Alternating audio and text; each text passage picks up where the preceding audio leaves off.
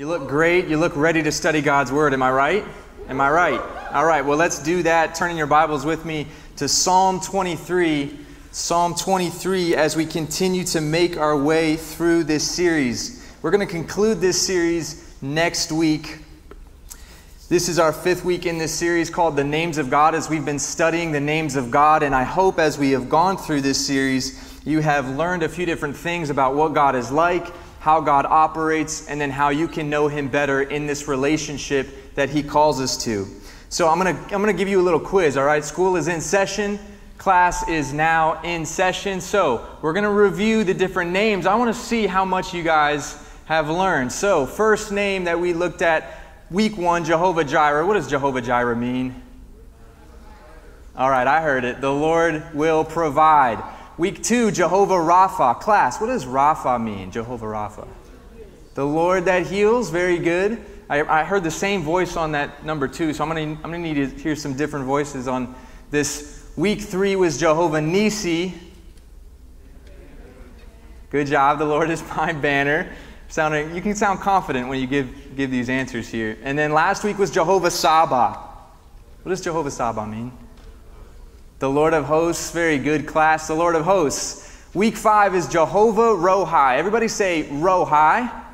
Sounds like kind of like a military call, like Rohi, but it's uh, biblical. And Jehovah Rohi means the Lord my shepherd. You might have picked up on that if you're very familiar with Psalm 23. It's the very first phrase of the, this chapter, Psalm 23. David says, The Lord is my shepherd in the Hebrew, Yahweh or Jehovah Rohi. It's a very precious name we're going to look out, look at tonight and um, dive into. We have a lot to go over. I'm really excited about what the Lord might uh, reveal and teach to us tonight. Uh, but first, let's start by reading this psalm together, Psalm 23, and then we'll pray and then we'll dive in. Psalm 23 was written by David, and it says, The Lord is my shepherd. There it is, Jehovah Rohi. I shall not want. He makes me to lie down in green pastures. He leads me beside the still waters. He restores my soul. He leads me in the paths of righteousness for his name's sake. Yea, though I walk through the valley of the shadow of death, I will fear no evil, for you are with me. Your rod and your staff, they comfort me. You prepare a table before me in the presence of my enemies. You anoint my head with oil, my cup runs over.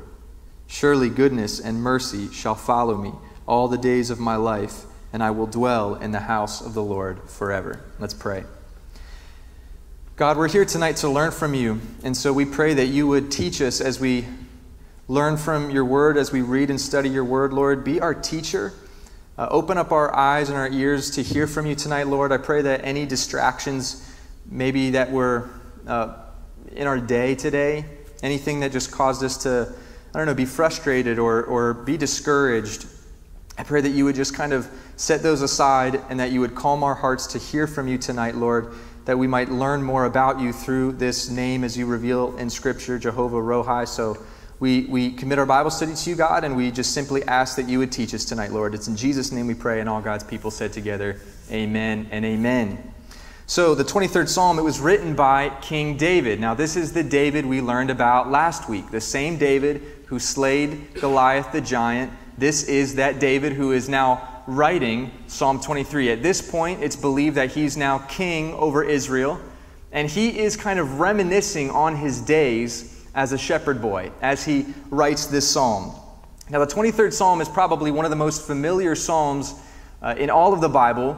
Um, even people who don't know Jesus or don't profess to be profess to be Christians, they probably are familiar with a lot of the words from Psalm 23, uh, mainly because Psalm 23 is written in uh, is is read aloud at different funerals. Uh, but Psalm 23 is not a psalm about death, but rather it's a psalm about life.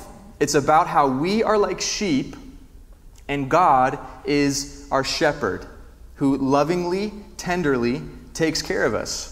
And so we see this name of God right here in the very first, first verse. The Lord is my shepherd, Jehovah Rohi. So if David calls God his shepherd, then what is that implying about David? That he's a sheep. So if David recognizes that God is my shepherd, David is implying within this passage, I am God's sheep as God leads me as my shepherd. And therefore, we, as believers in the Lord, can identify as sheep. And all throughout the Bible, uh, people are identified as sheep. Isaiah 53, verse 6 says, We all, like sheep, have gone astray. Each of us has turned to his own way. Psalm 93, 13 says, Then we, your people, the sheep of your pasture, will praise your name forever. So, those are just two verses out of multiple verses in the Bible that compare people to sheep. So, the Bible makes it clear God is our shepherd, we are his sheep. Are we clear on that point? God's our shepherd, we're his sheep. And just so you know, us being compared to sheep, that's not a compliment. Okay, uh, that's actually not a compliment. It is very fitting, but sheep are probably the dumbest creatures that God has ever created. I mean, the dumbest animals. And I'm going to tell you a little bit about sheep here so that we can know a little bit more about ourselves. Uh, some facts here. First of all, this is you. All right? This is your Instagram selfie. All right, but a little bit of uh, information about sheep. Number one, sheep are senseless. Sheep are senseless animals. They have no idea where they're going. They can't find water, they can't find food on their own. They're senseless animals. They get lost very easily. Uh, they have no clue where they are or how to find their way home. Uh, as I mentioned, they can't find their, their way to food or water on their own. Uh, sheep travel in groups. And so when one sheep moves, the other sheep just move, and they don't even know why they move, but they all just move together. There was a USA Today article that ran a couple years ago. It was an article about a, a, a flock of sheep in Turkey, and 1,500 sheep ran off a cliff together and died because one stupid sheep went over to the side of the cliff, just like, well, it doesn't, doesn't look too bad decided to jump, and then all the other dumb sheep were just like, well, if he's going, I guess I'll just go. And they just started all kind of hopping off the cliff together. The funny thing is, is that out of the 1,500 sheep that ran off the cliff, only 450 of them died. You know why? Because the first 450 plunged to their death, and then the rest is just like falling on top of cotton. It's just like all piling on each other. And so 450 died, and then the rest, they survived. Because one sheep decided it was a good idea to jump off a cliff. So the others just followed. They're senseless creatures. They have no clue where they're going or why they go, where they go. Sheep, they're also defenseless. They're also defen- defenseless creatures. Okay, in, in all of the animal kingdom, you know, other creatures and other animals, in defense, when there's a predator, okay, they either can change colors, or maybe they run real fast. Or maybe they swim underwater. Sheep, nothing. Okay? They don't, there's nothing intimidating about a sheep. They, they can't defend themselves in, in any way. When they're scared, when they, when they have a predator coming, all they do is they just gather together in a group and they just, bah, they just bleat. That's all they know how to do to defend themselves. So there's nothing scary or intimidating about a sheep. They can't defend themselves. They can't do anything cool like show their teeth or change colors like other animals do to defend themselves. If they fall on their backs, they can't get up. Do you know that? So a sheep who falls on their back just is staying there and hanging out till their shepherd comes and pulls them back up. So they fall on their backs, they can't get up. They're defenseless creatures, extremely vulnerable to predatory animals. Uh, are also fearful they're very fear, fearful animals. The only thing they really have going for them is they actually have exceptional hearing. But it's kind of to their downfall because every little noise they hear, they're just kind of freaking out. All right, they, they, they, they actually have really good uh, peripheral vision because, as you can kind of see, their, their eyes are kind of on the side of their head, but they lack good depth perception. So if someone's kind of coming up on them, they like have no clue like how close they are. They're just kind of freaking out as they're like, yeah, I don't, I don't know what's going on here. And and they're really scared and they're really fearful. And because they can see real well out of the sides of their head, because they're always scared and fearful, they're looking, they're looking uh, to the side. They, they walk in zigzag. They don't walk straight. So they're kind of just walking like this as they're checking their backs to make sure no one's coming. So they're really fearful creatures. They, they really have uh, nothing going for them here. Very fearful. And then finally, uh, they're also very dirty, very dirty creatures. Uh, sheep actually produce, um, naturally secrete this oil called lanolin. So everything that they come in contact to just kind of sticks to them. Uh, different debris, different stuff, you know, different you know, feces or whatever they're, they're coming around. Because of this lanolin oil, um, it kind of makes you just like a walking flannel board. So they're just walking around, they're just kind of contracting anything that they come across or come around. And so they're very dirty animals. Uh, they're, they're, they're very smelly and stinky. Okay, and, and so it is with us, as sheep are senseless and defenseless and fearful and dirty. Okay, there's no, no, no wonder the Bible compares us to sheep because we in life often feel senseless. I don't know about you, but have you ever felt like you just lack direction in life? Like you just don't know where you're going? You don't know who to date or what job to take or what next step to take in life. And you kind of just feel like you have a lack of direction. You feel a little bit senseless. You know, sometimes uh, I've often felt defenseless or fearful about life or about my future, fearful of the unknown. What's coming next? Where will I be in five years? Where will I be in 10 years? Am I ever going to get the right job or the job that I went to school and paid thousands of dollars to get a degree in? And am I now going to find a job that now meets that degree? And, and you become fearful and you become anxious in life, just like sheep experience different fear. And then, obviously, spiritually speaking, have you ever felt dirty because of your sin? and the guilt or the shame that you kind of carry around, and everywhere you go, kind of just feel like a walking flannel board. You can't make right decisions. Everything bad just kind of sticks to you because you've been making poor choices and going to places you shouldn't go, and you kind of just pick up along the way just more dirt and more shame, and it just piles up. You just feel dirty. You feel dirty in your sin. The great news here is that David recognizes the Lord as his great shepherd. So, enough talking about us. Let's talk about the shepherd.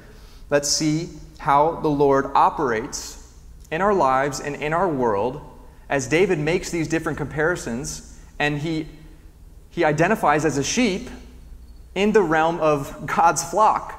God, you're my shepherd, and so we can take great comfort in knowing that God will operate as our shepherd, and we're going to walk through a, a couple of different attributes here. So, let's examine the different characteristics about God as he's identified by David as a shepherd. So the very first verse, verse 1 says, The Lord is my shepherd, Jehovah Rohi, I shall not want.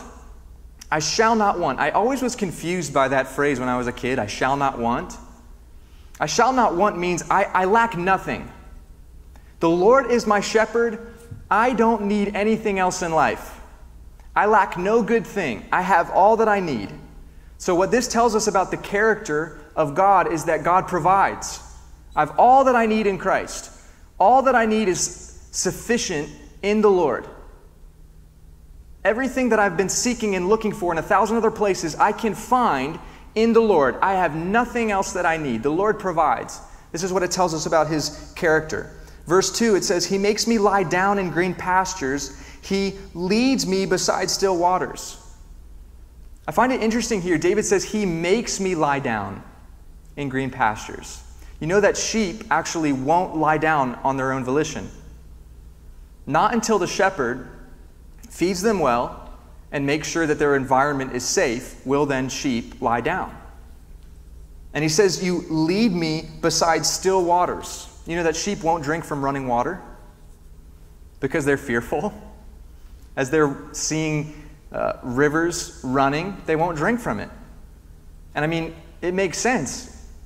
If you tried swimming with 20 sweaters on, that would kind of make you a little bit fearful too. So, sheep, they're like, I'm not taking a drink of this running water in the case that I fall in. So, David knows this as a shepherd himself, and he says, The Lord leads me beside still waters. So, it talks about this leadership of the Lord. In verse 3, it says, He leads me in paths of righteousness. This speaks about God's leadership in our, in our lives, how He desires to lead us. So, characteristic number two about the Lord is He, he desires to lead. He leads if we submit to His leadership, if we allow the Lord to lead our lives. And then I love verse 3 also. It says, He restores my soul. He restores my soul. Did any of you come to young adults kind of just feeling dry? Or feeling spiritually empty? feeling kind of weary because the Lord, a characteristic of our shepherd, is that he restores. He restores our dry spirits. He fills us up when we're dry. This is God's heart for you as your shepherd. He desires to provide, He desires to lead us, He desires to fill us and to restore us. And a major problem, in my opinion, okay, I want you to listen up on to up, I want you to listen to me on this one, okay? A major problem with our generation, in my opinion, is that we have given other people and other things the right to be our shepherd in these regards. Okay, in other words, we have given other people or other things the right to take God's place as our provider, as our leader, and as our restorer. So, what do I mean by this? Let me break it down a little bit. So, let's start with number one provide. So, you say you're not happy in life. Not happy in life, not fulfilled in life. Here's how the world attempts to provide and meet your needs. Well, you just need the right job, or you just need that right relationship, or you just need a little bit more money in your pocket, and then you'll be happy, and then you'll be satisfied. And we have bought the lies of our world when the world says we can provide happiness through that relationship, or that substance, or that job, or that paycheck and we buy into the lie of our world in, with their method and their means on how they think they should provide. David says, No, the, the Lord's my shepherd. I shall not want anything.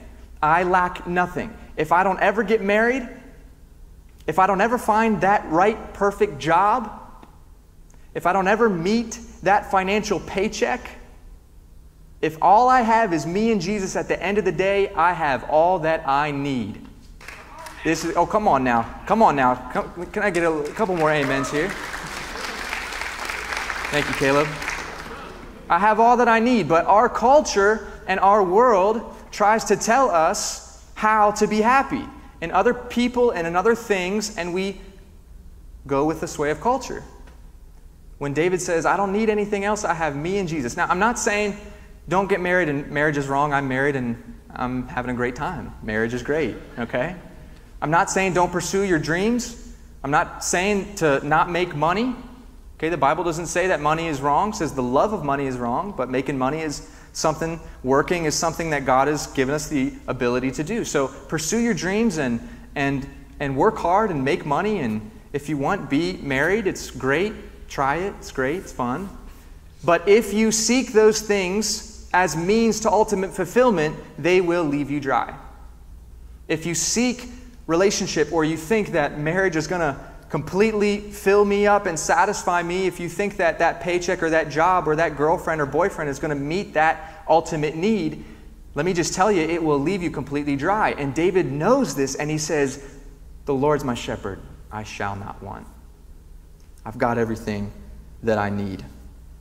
Here's another example with this leadership quality where David says, The Lord leads me. My concern is for our young adult generation that we have allowed different people or different things to be our shepherd in this regard of leadership.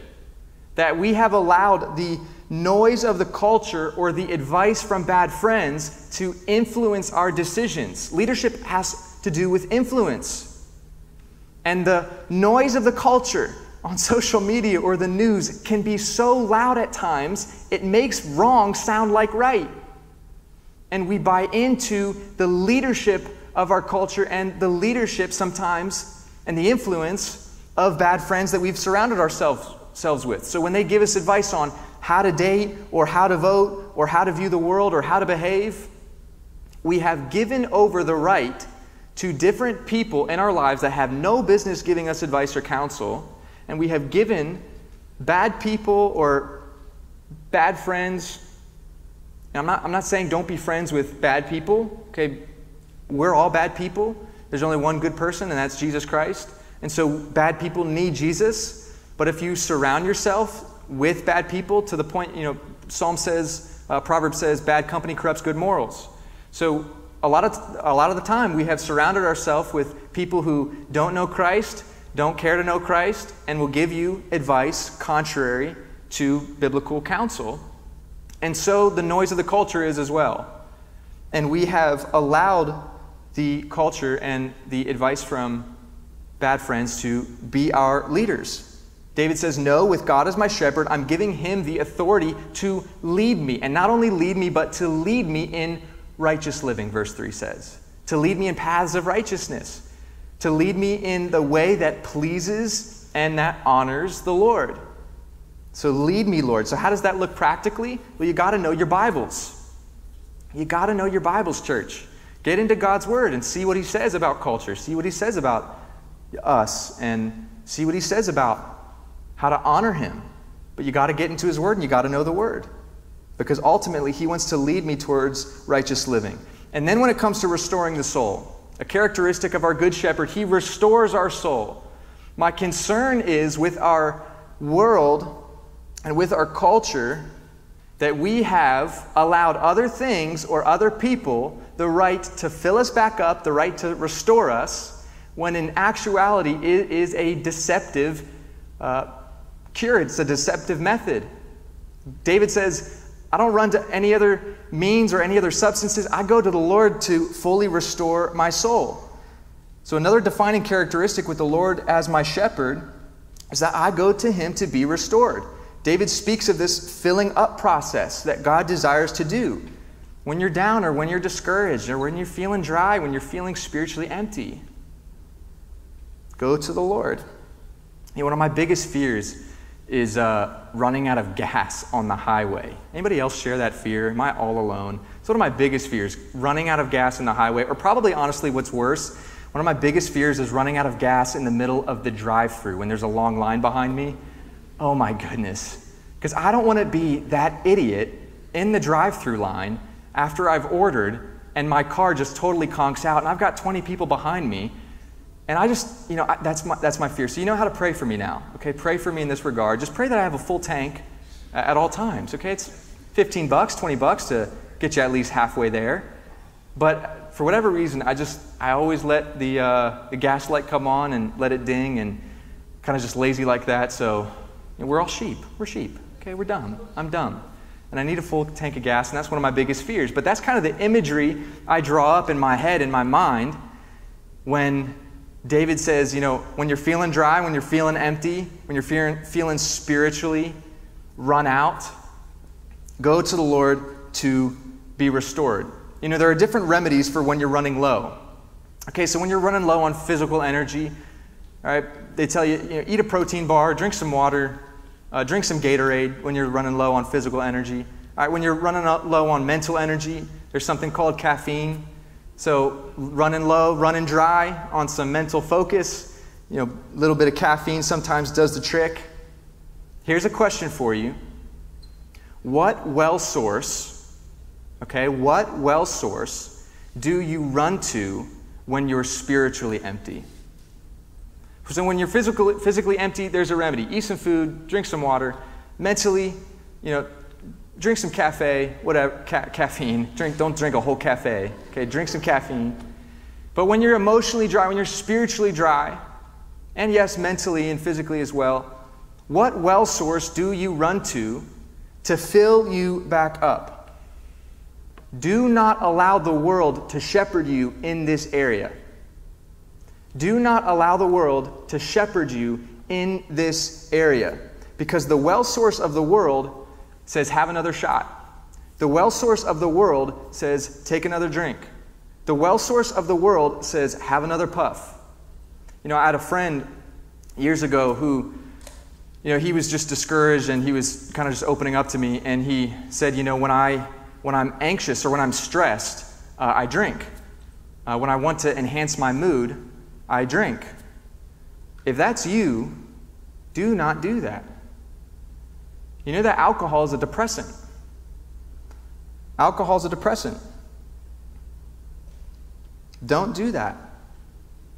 because you're training the chemicals in your brain to, co- to find comfort and restoration in something outside the Holy Spirit. But we as believers are called to find restoration in Him. Ephesians 5:18 says, "Don't be drunk on wine, which leads to debauchery, but be filled with the Holy Spirit." Many people go to alcohol to relax or to enhance their mood. Alcohol is a depressant. This is what uh, addictioncenter.com says. Drinking profoundly alters an individual's mood, behavior, and neuropsychological functioning. For many people, alcohol consumption is a means of relaxation. However, the effects of alcohol can actually induce anxiety and increase stress. Alcohol is classified as a central nervous system depressant. I'm going to say that again. Alcohol is classified as a central nervous system depressant, meaning that it slows down brain functioning, neural activity. Alcohol can depress the central nervous system so much that it results in impairment such as slurred speech, unsteady movement, disturbed uh, perceptions, and inability to react quickly. Mentally, alcohol reduces an individual's ability to think rationally, lessens inhibitions, and distorts judgment. Okay, the Bible says to be sober minded so that you can be alert, so that you can be aware of the devil's schemes. How can I be sober minded if when I want to relax and want to be at ease and enhance my mood, I don't run to the Lord to restore me and to fill me, but I run to a substance? not here to necessarily bash on alcohol. The Bible prohibits drunkenness, it doesn't necessarily prohibit drinking, but I will tell you that the book of Proverbs has a, uh, 11 things to say about alcohol. Nine of those 11 things, it's always a warning against it. I've never had someone come into my office or my dad's office saying about how alcohol has improved their spiritual life. Okay?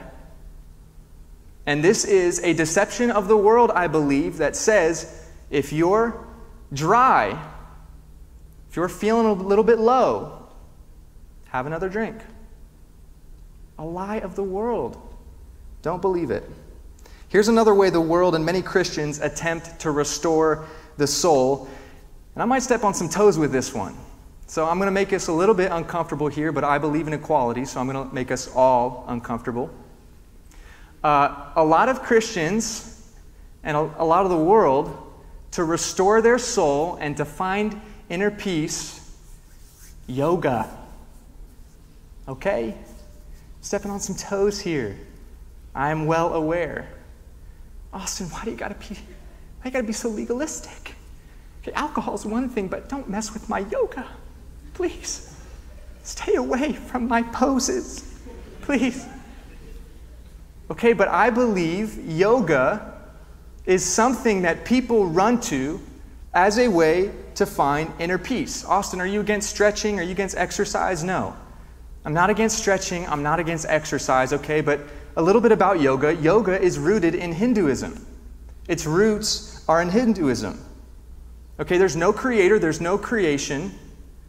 We don't go out to the Lord to find peace, we go inward to find peace. The Bible never says to go inward to find peace. The Bible always encourages us to go outward to the Lord.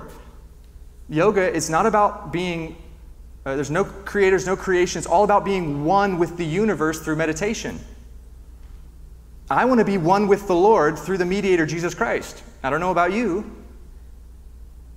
But yoga talks about being one with the universe through meditation, uh, being uh, at one with uh, the universe, going inward to find some kind of inner peace, going into self. The Bible never prescribes to that as a method of restoring the soul.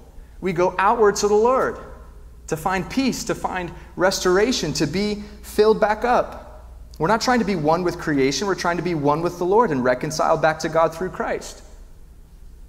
I'm done with yoga, okay. But one of the attributes David recognizes about God as his shepherd is that God is the one who can fill him when he's dry, to restore him when he's on empty, to meet all of his needs. So when the world presents different means or different methods, to find ultimate rest or to find different modes of peace.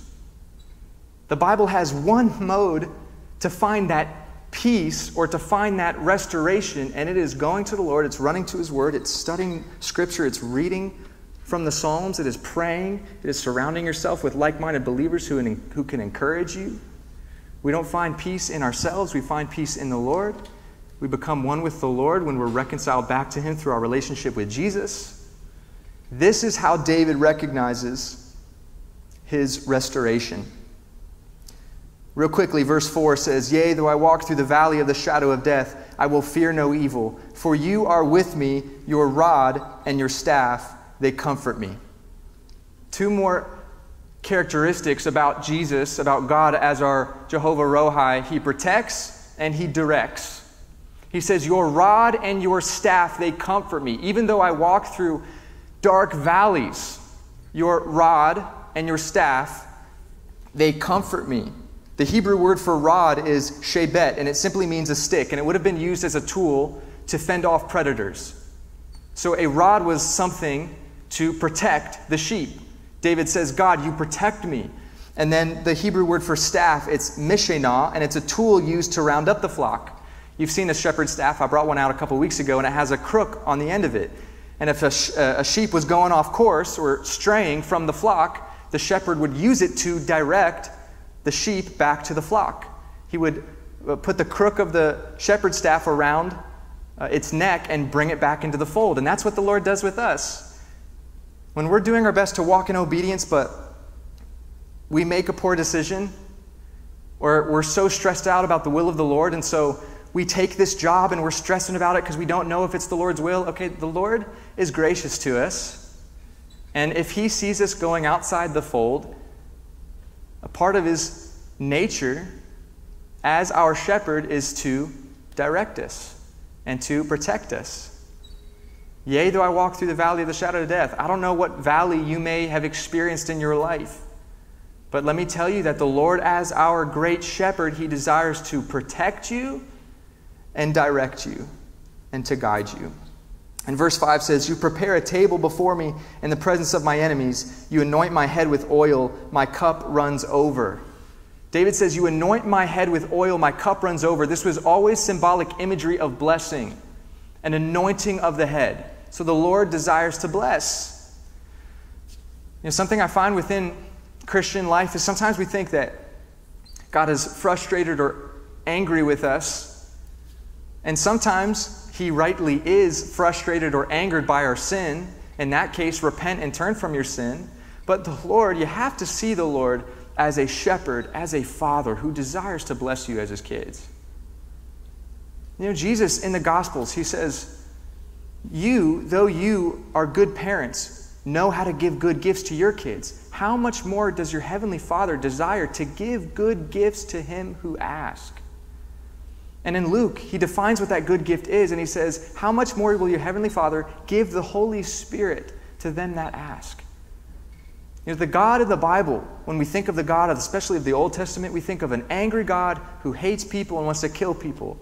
Okay, the God of the Bible was angered at people's sin because he is so holy, and he wants us as his kids to take sin seriously as well. But his overall character and his nature is to bless you as his kids.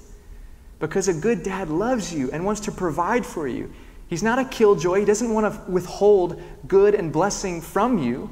The only time you might feel him withholding blessing from you is because that's not what's best for you. Even though in our limited mindset, we think, well, God, why are you not giving me this or that? Sometimes he just says, that's not the right person, or he might say, that's not the right timing. But he loves to bless his kids. David says, You anoint my head with oil so much that my cup runs over. My cup runs over. And then lastly, verse 6 says, Surely goodness and mercy shall follow me all the days of my life, and I dwell in the house of the Lord forever. David recognizes God as his shepherd, as someone who desires to dwell with him, to have an intimate relationship with him for all of eternity. You know, another translation of this word, Rohi, Jehovah Rohi, another translation for Rohi means friend or companion. And so this indicates the intimacy God desires between himself and his people. So when the two words are combined, Jehovah Rohi, it can actually translate as the Lord my friend, the Lord my companion. Do you know the Lord tonight as your friend or as your companion?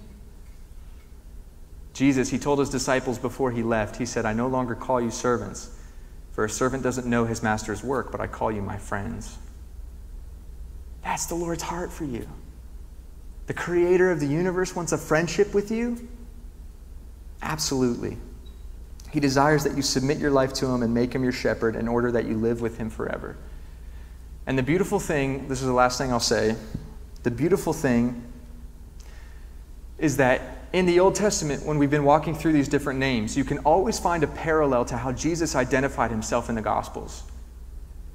And this is one way that Jesus identified himself. He said in John 10 14 through 15, I am the good shepherd. I am the good shepherd. I know my sheep, and my sheep know me. Just as the Father knows me, and I know the Father, I lay down my life for the sheep. It's what our shepherd did for us. He loved you so much that he laid down his life for you. Even though in your dirt and in your fear, in your lack of direction, the Lord, as our great shepherd, sent his son to die for us on the cross, to lay down his life for the sheep. And then in verse 27 in that same chapter, he says, My sheep hear my voice, and I know them. My sheep hear my voice, and I know them. When I was in Israel um, couple years ago, I was in Israel with my dad. It was on our, one of our church tours. And it was this really cool scene. There was uh, two different flocks of sheep. So two different shepherds and two different flocks of sheep. And uh, the one shepherd, you know, both of the flocks were mixed. Um, so you couldn't, you couldn't tell whose flock was who, but you just know there are two shepherds here, so there's probably two different flocks here. But the different sheep were all intermingled, so there was no distinction between the two different flocks. And then one of the shepherds, he called out in Hebrew, obviously. He called out in Hebrew and he called out to his sheep and he started walking. And what do you know? That when he called out to his specific flock, even though they were all intermingled, his flock left that flock and went with their shepherd. The first thing I thought was, I can't believe these sheep know Hebrew. And the second thing I thought was, this is amazing. This is exactly what Jesus says in the Gospels that my sheep know my voice, and I know them so, my question for you tonight is Do you know the Lord's voice? Do you belong to his fold? Do you belong to his flock? Have you submitted to your life unto the great shepherd who desires to provide, who desires to protect, who desires to direct, who desires to bless you, who desires to lead you? Have you submitted your life as one of his sheep, saying, God, I want to make you my shepherd? not just for all these benefits, that in life I don't have to walk alone, but in life, I know that you're my shepherd, that you're going to lead, that you're going to provide, that you're going to guide. All the questions I have about my future and my marriage and my job and my relationships and my paychecks. Lord, you're my great shepherd. I'm going to submit to you and trust that you're going to take care of my life. But not only that, David, David ends with, Surely goodness and mercy will follow me all the days of my life. I will dwell in the house of the Lord forever. Because when you make Jesus your chief shepherd, there are benefits here on life for sure, because you're not alone now. But the ultimate blessing is when you get to dwell in His presence for all of eternity. And if you don't know Him tonight as your shepherd, I want to give you that opportunity as we pray. And as we pray, I'm just going to lead you in a quick prayer. And I want you to take that opportunity to make Jesus your shepherd so that you don't have to be alone here on earth, but that even more important, that you get to be with Him for all of eternity. And you will then know His voice, and He will know you. And so I pray that you make that decision tonight if you haven't, and if you have, be encouraged by this name, Jehovah Rohi, and know that the Lord desires to lead and guide and provide and protect and be with you during this challenging season of COVID and the different challenges of our country, but just generally as you're walking through life, each day of the week, wake up and know it is good to know that I have a shepherd and that I'm not alone. Let's pray together. Uh, Lord, we come before you tonight. And right now, I just want to open up the opportunity for those of you who have not made a decision to make God the Lord of your life, to make God the shepherd over your life. Here's your opportunity right now. Today's the day of salvation. And so I'm just going to go slowly in this prayer. There's nothing magical about the prayer, it's all about your, your heart and your attitude towards the Lord. But if you haven't made this decision, just repeat after me, just quietly to yourself Dear Jesus, I'm tired and I am dry. And I pray that you would fill me. I surrender my life and I make you Lord of my life. I believe that Jesus died on the cross and rose again so that I could have new life in him. In Jesus' name. And for the rest of us who already know the Lord as our Savior, I just pray, Lord, a special protection and blessing over this flock tonight. We are the sheep of your pasture, and it is good to know that we have a shepherd who cares for us, who loves us, and who desires to lead us, who desires to restore us and fill us afresh with your Holy Spirit. So fill us, Lord. If any of us have come in dry tonight, fill us again, Lord, with your Spirit. Just make us alive in the Lord and give us the joy of our salvation. Fill us up with your Spirit, Lord, and, and lead us as we do our best to walk with you. Guide and direct us when we take steps outside your will. We trust that you're good and that you will be with us in life, Lord. Thank you for being our Jehovah Rohi. We love you. It's in Jesus' name we pray. And all God's people said, Amen.